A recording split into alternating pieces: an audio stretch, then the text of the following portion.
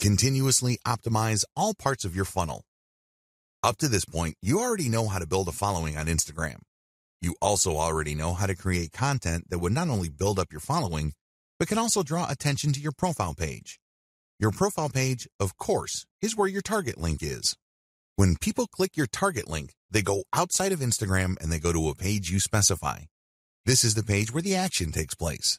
This page can be a consumer guide which qualifies your traffic. People can then click through to a page that's deeper inside your website. Ultimately, they can click on a link to go to the squeeze page for your mailing list. This is the page that recruits people to join your mailing list. You can also promote a sales page using these internal pages. There are just so many ways you can go with this. But regardless of how you plan to convert free or paid traffic on Instagram into paying customers, you need to optimize all parts of this funnel. The funnel starts with your content on Instagram. It gets narrower when people click through to your profile page. From there, it goes to a page on your website. From there, it can either go to an internal page or to a sales page or a squeeze page. Whatever the case may be, you need a very broad top for your funnel and each smaller part of your funnel needs to be as broad as possible. Why? The more people you have coming in, the higher the total number of people you can convert if you set up your funnel right. And here comes the bad news. It's one thing to say that you're going to have to optimize all parts of your sales funnel.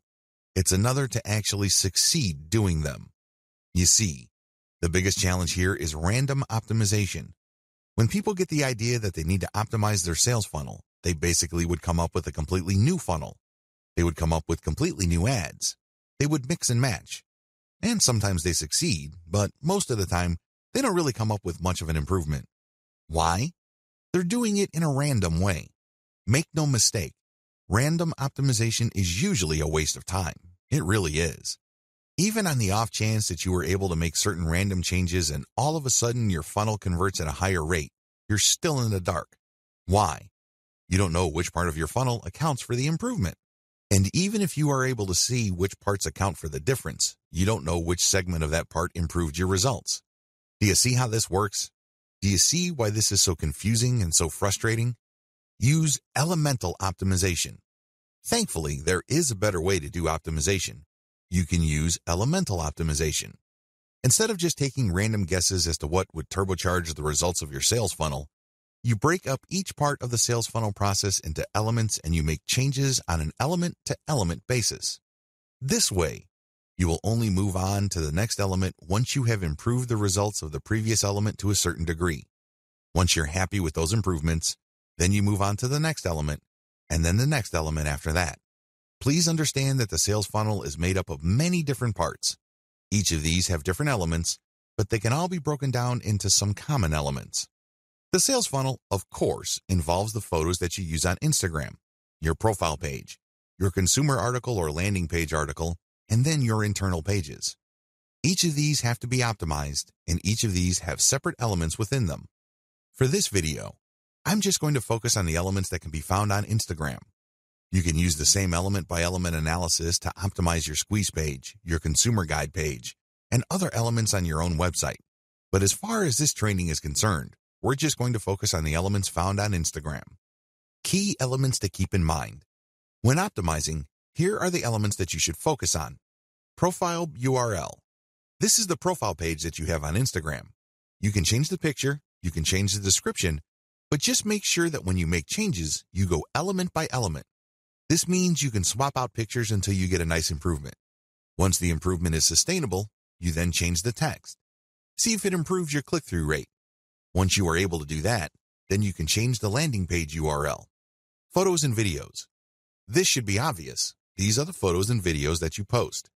Pay attention to engagement levels. Pay attention to click-through.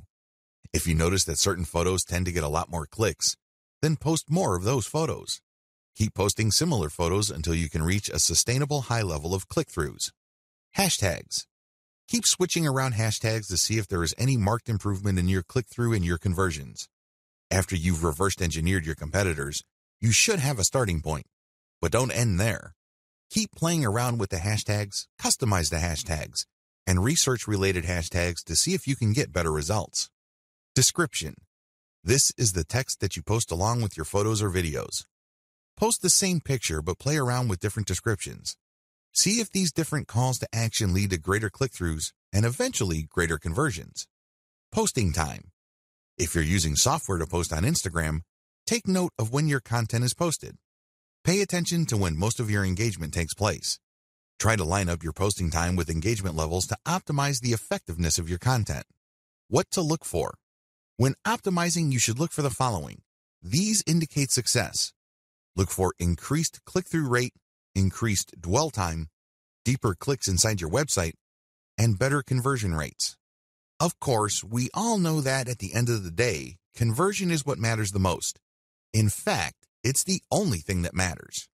How come? Conversions puts dollars in your pockets and nothing else. However, to get there, you have to increase click-through rates. You also have to see if the page that you are presenting to people you draw from Instagram holds their attention for a longer time.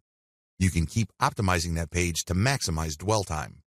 Also, pay attention to your initial content on your own website to see if you can optimize it so you can get deeper clicks. The more internal pages, the more the person views, the more interested that person is in whatever it is you have to offer. Ultimately, if you take care of these in an element by element basis, you can increase conversion rates. For more free educational content, visit learnforfree.biz. Content produced and distributed by AllSuperInfo.